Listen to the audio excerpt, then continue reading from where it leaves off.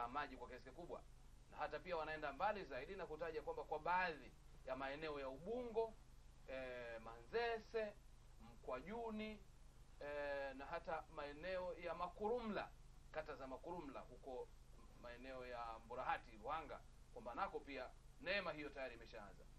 Ni kwa nini? Kuna ukweli kwa kiasi gani? Na itakuwa ni jambo kweli ambalo limemaliza tatizo hili? Kuzungumzia haya nimemwalika mhandisi bwana Ramadhani Mtindasi ambaye yeye ni meneja wa Dawasco kutoka Ilala. Bwana Mtindasi, ni furaha yangu kuwa naye katika matangazo haya. Na mimi nashukuru sana. Ni- ni- Nimezungumzia katika hilo kwamba uh, Dawasco mume mmewapa habari njema na mnatoa habari njema kwa wananchi kwamba hivi sasa huduma ya maji itaimarika, upatikanaji wa maji utaongezeka kwa kiasi kikubwa, na yako baadhi ya maeneo ambayo tayari yameshatajwa kuongezeka kama hayo niliyoyataja. Ni kwa kiasi gani hasa unaweza kutoa hiyo habari njema kwamba kwa kweli kwa asilimia kadhaa sasa tuna ongezeko la maji ya kutosha?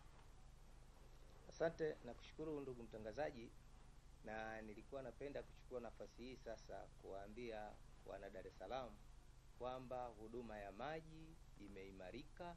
Huduma ya maji katika jiji la Dar es Salaam inakwenda kuimarika. Kwa nini tunapata ujasiri wa kusema maneno haya? Tunapata ujasiri wa kusema maneno haya kwa sababu sasa uzalishaji wa maji kwenye mitambo yetu wa Ruvu chini na mtambo wa Ruvu juu, uzalishaji unakwenda kuongezeka maradufu. Na kwa kuanzia, mtambo wetu wa Ruvu chini umeshaanza kwa majaribio, tumeshaleta maji kwa majaribio, uzalishaji umeongezeka, na nafikiri wananchi wa Dar es Salaam wa maeneo uliyoyataja na maeneo mengine ya katikati ya mji watakuwa mashuhuda kwenye hili kwa sababu maji sasa yameongezeka kwa kiasi kikubwa. Kabla ya uzalishaji wa mitambo yetu hii, uzalishaji wa Dawasco wa maji katika mitambo yetu yote hii ilikuwa ni mita za ujazo laki tatu kwa siku, lakini sasa uzalishaji huu unakwenda kuongezeka mpaka kufikia mita za ujazo laki nne na themanini na sita kwa siku Mhm. na mahitaji ya jiji yako mita za ujazo, uja- za ujazo laki nne na hamsini tu. Kwa hiyo tunasema hali ya maji inakwenda kuimarika na inaenda kuboreka kabisa. Kwa hiyo Tatizo la maji litaondoka Dar es Salaam litaondoka Dar es Salaam. katika kipindi gani? Kipindi cha muda gani? Tunategemea kuanzia mwezi Aprili tarehe moja Mhm. hali ya maji katika hii mitambo yote niliyokuwa nimesema Waruvu chini na Waruvu juu itakuwa katika uzalishaji wa asilimia mia moja. Kwa hiyo tutegemee kuanzia Aprili mosi hali ya maji inaenda ku, ku- Kuimarika. kuimarika Wakati ukisema hivyo kwamba eh, sawa maji sasa kwa kiasi kubwa kwamba upatikanaji wa maji utakuwa mkubwa sana jijini Dar es Salaam, lakini moja ya, tatizo kubwa ni miundombinu, mabomba yale yanayotumika kupitisha maji, mabomba yale yanayotumika kuleta maji katika makazi ya watu. Mengi ya mabomba yale, mengine yameshaziba, mengine yameshazeeka na hata mengine yameshatoboka toboka sana. Mna taarifa na hili na mnafanya nini katika hali hii? Ni kweli ndugu mtangazaji, taarifa hizi tunazo, na ndiyo maana leo tuko hapa kuja kuwaomba wana Dar es Salaam tulishirikiane kwenye hili, kwa sababu serikali yetu imewekeza pesa nyingi kwenda kuweka kuzalisha maji haya kwa kuongeza uzalishaji kwenye mitambo hii. Sasa maji haya yanapofika mjini yasipotee. Sisi tunachowaomba wananchi wa Dar es Salaam ni kutupa taarifa kutupa taarifa Dawasco kwamba maji yanapotea maeneo haya, na wakati tunaendelea na kipindi hiki nitatoa namba ambayo namba hii ni bure kabisa. Unapiga simu na sisi tuko masaa ishirini na nne. Tutapokea taarifa hizi kupitia kwenye kituo chetu hiko cha huduma kwa wateja, na hizi taarifa zitaenda kwenye eneo husika, na wahusika wa eneo hilo watatakiwa kuhudumia maji hayo yanayopotea, kuhudumia mivujo hiyo ili maji yasiendelee kupotea. Ni kweli miundombinu imechakaa, miundombinu ya zamani, lakini maji yatakapokuja ndio tutajua maji yanavuja wapi, maji yanapotea wapi, tuweze kushughulikia kuyatengeneza. Kwa wakati huu sasa, kilio cha wana Dar es Salaam ilikuwa ni maji, na maji yanakuja mjini, yakishafika mjini tushirikiane, na ushirikiano tunaotaka kutoka kwao ni kutupa taarifa. kuwapa taarifa ni, ni kwa kiasi gani ni kwa kiasi gani tuna miundombinu hai ya kuwezesha huduma hii ya maji kufikia kwa walengwa ni kiasi gani tuna miundombinu hai ya kusema kwamba kwa kweli tuna utafiti wetu unaonyesha kwamba tuna asilimia kadhaa au tuna idadi ya mipira kadhaa mabomba kadhaa. Kwa hiyo huduma hii itawafikia hawa walengwa na kunufaika na hiki ambacho tunasema kwamba kuanzia mwezi aprili tatizo la maji huenda likawa historia ndani ya jiji hili. Ni kwa kiasi gani?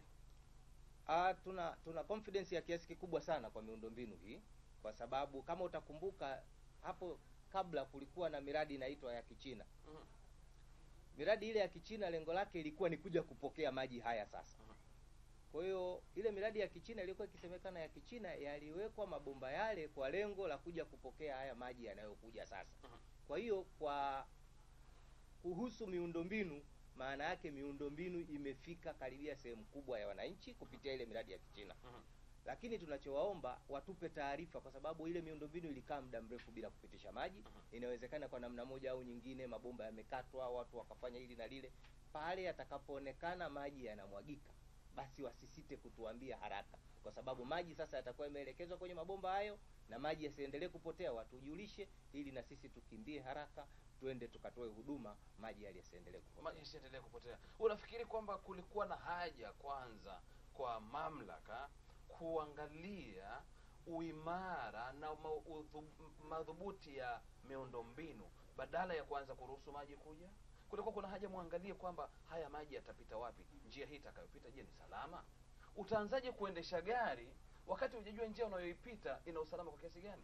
Kulikuwa kuna haja yenyewe kufanya hivyo? Au hakukuwa na sababu hiyo? Ah, hilo limefanyika, lakini kama unavyojua maji, ili uweze kujua maji yanapotelea wapi, ni lazima yapite. Mhm. Yapite ndio utaona yanapotea. Mhm. Kwa hiyo hilo tumefanya, na sio kwamba kila sehemu yatakakopita yatamwagika. Hapana, kuna maeneo ambako tumepita na tumefanya marekebisho, lakini kuna maeneo yale ambayo hata sisi hatukuona Mhm.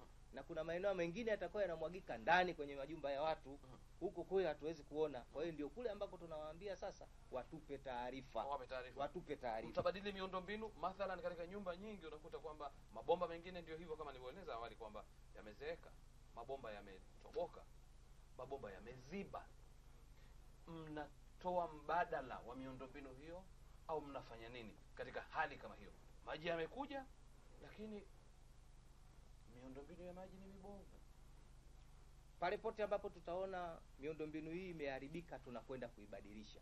Kwa wale ambao wametembelea katika ofisi zetu katika siku za karibuni, Mm. wameona tuna vifaa vya kutosha, vipo katika kila ofisi kwa ajili ya kufanya kazi hii. Lakini sio tu hapo, hatukuishia hapo, tunakwenda kuwaunganisha wateja wengi zaidi katika kipindi hiki, kwa sababu maji yanakuja mengi zaidi, tuna, tunategemea yaende kwa watu wengi. Kwa hiyo tumekuja na, na na mpango wa kuwaunganisha wateja wengi zaidi. Tumejiwekea lengo mpaka kufikia mwezi Juni tume, tuwe tumewaunganisha wateja laki nne. Lengo ni nini? Maji haya yanapokuja sasa yataingia kwenye mfumo wa usambazaji, yasibaki kwenye mfumo wa usambazaji pasipokwenda kwa walaji. Yaingie kwenye mfumo wa usambazaji haraka, yaingie kwa walaji. Na utawapataji walaji ni kwa kuwaunganisha wateja wengi zaidi. Tumepeana malengo ya kuwaunganisha wateja laki nne mpaka kufikia mwezi sawa sawa tutakuja kuangalia wakati juhudi hizo zinafanyika lakini bado inaelezwa pia kwamba bili zimekuwa hazieleweki katika matumizi ya maji mwezi huu nalipa elfu ishirini mwezi ujao naambiwa laki mbili tutakuja kutazama haya na mengine mengi na hususan tangu